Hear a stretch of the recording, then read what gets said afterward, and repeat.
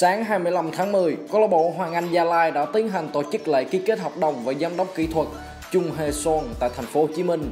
Dù đã chính thức làm giám đốc kỹ thuật của Hoàng Anh Gia Lai tại vòng 22 V-League, nhưng đến hôm nay, Hoàng Anh mới tổ chức lễ ký kết hợp đồng và cũng là lời chào ra mắt với truyền thông tại Việt Nam. Có thể thấy đội bóng phố núi đang rất kỳ vọng vào chiến lược gia người Hàn Quốc. Mục tiêu của Hoàng Anh khi ký hợp đồng với giám đốc kỹ thuật Chung Hê Son là giúp ông thầy người Hàn có những cái nhìn chuẩn xác hơn về các cầu thủ Việt Nam. Một khi có những đánh giá rõ ràng về đội bóng và các học trò, ông Chung sẽ được kỳ vọng đưa ra những phương án huấn luyện phù hợp Phát biểu tại buổi lễ ký kết, vị giám đốc kỹ thuật đến từ xứ Hàn bày tỏ tham vọng đưa đội bóng phố núi trở thành một thế lực tại Đông Nam Á. Với kinh nghiệm huấn luyện của mình, tôi sẽ thống nhất, kết tinh được các cầu thủ trên sân. Hoàng Anh Gia Lai là đội cuối cùng trong sự nghiệp của tôi, nên tôi hứa sẽ đưa đội lên tầm mạnh nhất trong khu vực Đông Nam Á. Lời hứa ấy không chỉ dành cho quý vị mà còn cho chính bản thân của tôi.